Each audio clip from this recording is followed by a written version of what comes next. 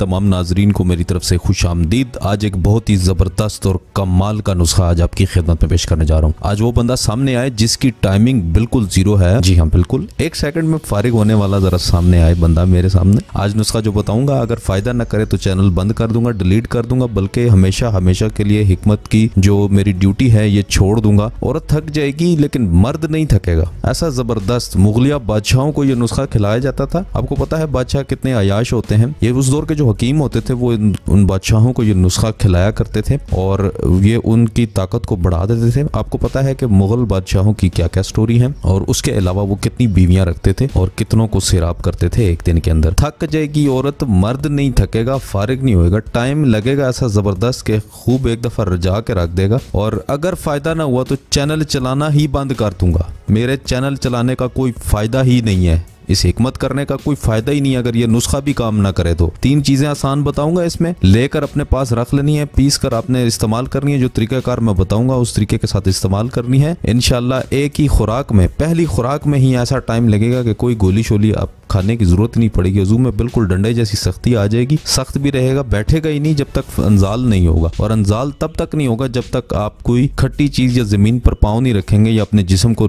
यानी ढीला नहीं कर देंगे तो। तब तक ये अनजाल नहीं होगा। खूब मज़े करेंगे और ज़बरदस्त नुस्खा आज आपकी खिदमत पेश करने जा रहा हूँ। इस चैनल पर ऐसे ऐसे नुस्खा जात अपलोड होते हैं कि जो आपके मर्दाना जनाना पोशीदा अमराज, जो आप जो वो अमराज जो अपने माँ बाप से आप डिस्कस नहीं कर सकते, वो अमराज जो अपने बहन भाइयों से डिस्कस नहीं कर सकते, वो अमराज जो आप अपने जो है वो किसी करीबी रिश्तेदार से डिस्कस नहीं कर सकते। इधर आइए, इस चैनल को सब्सक्राइब कीजिए और यहाँ पर आपको उन अमराज का इलाज मिलेगा तसली बख्श इलाज मिलेगा और आपको बेहतरीन तरीके का इलाज मिलेगा, आपके मिजाज के मुताबिक चीज़ मिलेगी। तो चलिए फ़ौरन से देख लेते हैं इसमें कौन कौन सी चीज़ें हमने इसमें इस्तेमाल की सबसे पहले आपने तुख में इमली लेना है। स्क्रीन पर इमेज देख सकते हैं, किसी भी पंसारी से मिल जाएगा, आम से आम चीज़ है, देख सकते हैं और ले भी सकते हैं। दूसरे नंबर पर तुख में सरस लेनी है, ये भी आप देख सकते हैं अपनी स्क्रीन पर इमेज और ये आसानी से आपको किसी भी पंसारी से मिल जाएगा। तीसरे नंबर पर आपको चाहिए कुजा मिश्री ये तीनों चीज़ें आपने बारीक हम वज़न लेकर पीस लेनी है। साफ़ करने के बाद बारीक पाउडर की तरह पीस लेनी है। याद रखें कि इसमें कीड़ा वगैरह भी मौजूद होता है। कीड़े को साफ़ कर लेना है। अगर कीड़े वाली मिले तो उसको खरीदे भी मत। अगर मिल जाए तो उसको साफ़ कर लेना है और उसके बाद पीस लेना है। और याद रखें कि इसको आपने जो चम्मच के